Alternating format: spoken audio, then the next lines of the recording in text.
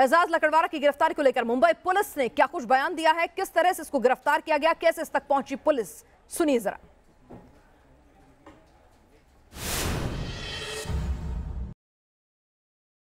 Extortion calls देके बम्बई में काफ़ी लोगों को धमकाता था।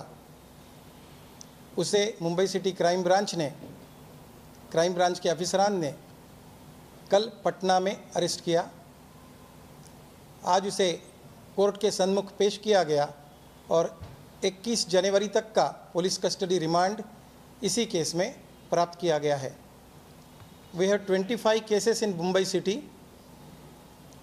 we have contacted various units in Maharashtra as well as other states to find out how many cases in all are there कितने टोटल केसेस है, उसकी जानकारी हम इकट्ठा कर रहे हैं।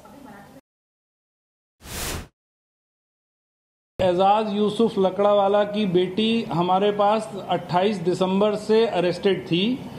तो उसके इंटरोगेशन में हमको एजाज यूसुफ लकड़ावाला के बारे में काफ़ी कुछ जानकारी मिली।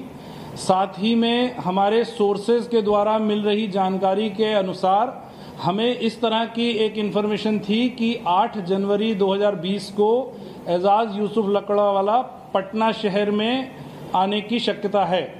इस इन्फॉर्मेशन के आधार पर हमने बिहार पुलिस के सहयोग से कल वहाँ पर उसका अटकाव किया, उसकी आइडेंटिटी वेरीफाई करने के हिसाब से उसको यहाँ लेकर आए और मुंबई शहर में कल रात को साढ़े दस बजे उसको ऑफेंस में अरेस्ट किया गया है। छोटा राजन की टोड़ी से 2008-9 में अलग होने के बाद हमारी जानकारी के अनुसार एजाज यूसुफ लकड़ावाला जो है, वो कनाडा में, मलेशिया में यूएस में, लंदन में और नेपाल में रहने की हमें जानकारी है, परंतु ये सब जानकारियाँ जो हैं, अब इन्वेस्टिगेशन में कंफर्म की जाएँगी।